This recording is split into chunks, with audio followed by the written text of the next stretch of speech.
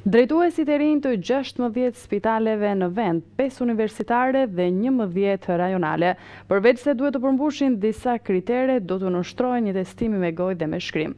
Konkursi përfundon brenda tridhjetë e pesë ditëve dhe në nëntor do të kemi drejtuesit e rinj të spitaleve.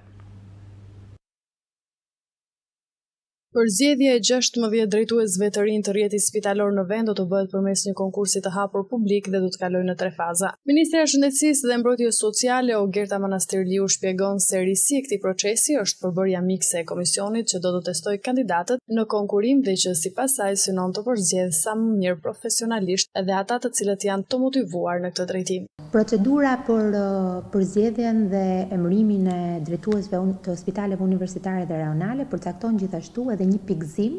të të tre momenteve të vlerësimit të kandidatit, që është vlerësimi i dosjes, është vlerësimi i testimit me shkrim dhe vlerësimi i testimit me gojë. Pika e rëndesës pa dyshim do të jetë testimi me shkrim dhe më shumë testimi me gojë, i cili do të shpalosi dhe do të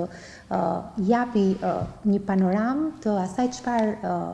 kandidati do të sjellë të re dhe do të prezantojë për platformën e zhvillimit të spitalit që ai aplikon të drejtojë. Përzgjedhja e kandidatëve fitues do të bëhet nga një komision me shtatë anëtarë, disa prej të cilëve do të jenë të huaj. Ministrja e Shëndetësisë, Ogerta Manastirliu thotë se konkursi përfundon brenda tridhjetë e pesë ditëve dhe në nëntor do të kemi drejtuesit e rinj të spitaleve. Do të ketë në përbërje të tij